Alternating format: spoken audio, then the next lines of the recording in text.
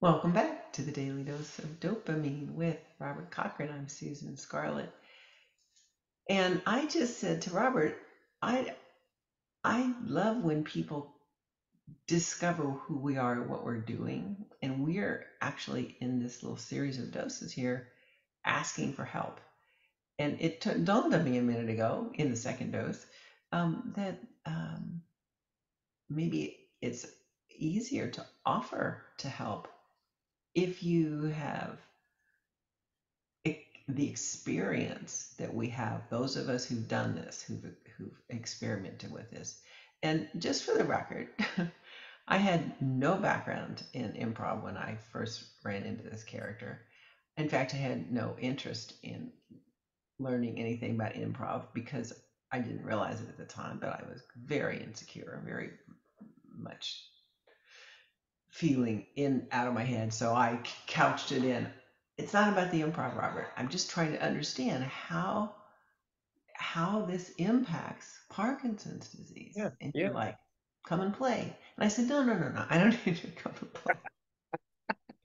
And you said, come and play. And you wouldn't answer my question because you might not have known the answer. I'm not sure.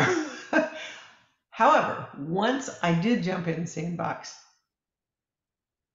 and was nervous and insecure and started having fun and kind of figured something out, but you introduce new games all the time.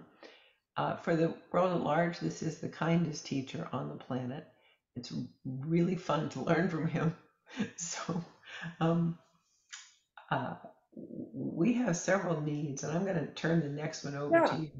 I just want to yes and you for a moment, just to say that labeling everything you just did is A, vulnerable, and B, freeing, right? We talk about that all the time of the freedom that happens when you label insecurity or you label vulnerability, you label fear, that those things that you didn't even realize were there imprisoning you, suddenly you get to swing them open too, and you're empowered to be more of you. And this is, you know, the ask, as it were. This whole thing is a series of asks. Our ask right now, you know, we've talked about money from a couple levels. We talked about an accountant. We talked about fundraising. We're looking for within this space, we need a grant writer, or again, a team of grant writers, because yes, I was trained in grant writing as part of my PhD process. I can do it. As Susan said, that process, if I'm doing that, I'm not doing what the CEO job in my hope is the way I'd like to be a CEO, which is leading classes or training other people to lead classes or presenting in front of large groups to spread the message on who we are or writing a book or creating a film you know using all of these things to again raise up the awareness and uh, availability of these programs that we know affect not only the parkinson's community but we're starting to see others too. So this is where a grant writer is a specific skill set and again, if you if it's not you listening person right now, if you wouldn't mind asking around in your community, sending out some emails or even this video to say, this company who does good stuff that I like is looking for a grant writer, or team of grant writers um, to help them. That'd be great. And, and to be clear, in case anyone's not, we are a 501c3 nonprofit. That's all official. And so that's what we're doing. So that's our ask here. We're looking for a grant writer what I've what I've learned, what little I've learned about that world is that there are a lot of separate worlds within that world. You did do a grant, by the way, uh, the the Parkinson's uh, Foundation Community Grant. What was that experience like? You worked with Mike and me, Mike from Austin CSZ, um, and we love him. What was that experience like?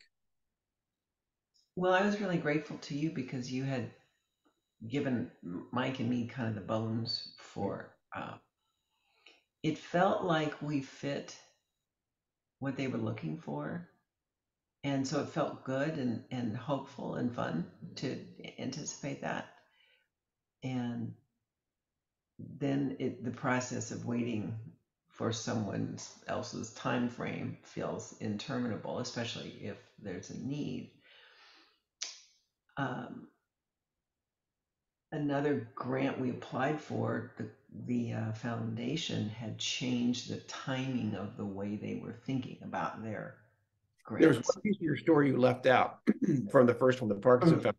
When we did get the grant, it felt when we didn't get the grant, I kind of didn't know how to address that. It felt, um, it was um, confusing. It, it seemed like we were an ideal candidate for that funding. And so I was um, sad, hurt, felt almost like, wait a minute, did maybe Robert, maybe it's that they didn't come and play with us. Maybe they didn't understand it. Maybe it's really hard to put on paper something as rich and three dimensional as our what we do is. I think the biggest takeaway I'd have is that grant writing is, is a specific skill. And even the best grant Mhm. writers don't get all of their grants funded. So the bottom line why we need a grant writer or team of grant writers is because it is a specific skill. It takes time. And it, for us to take that on would be missing out again on the, the things that we know we do primarily well. It's not that we can't do these things, but a grant writer who does these things specifically well could come join our team and be a real help to us. And figure out which grants to apply for. It, it's it's it's a very complex process. And yeah, thank you for calling me on that because it was this is sad, sad moment. There and it's something to know. So for all of you out there watching us right now, if you are a grant writer or if you know somebody in your community, if you could ask around, can you find a grant writer for this fine 501c3 yes and exercise? It's looking to again find sustainability funds and can show all the results needed and and have everything that I think would go into a great looking grant. We'd sure like to meet you.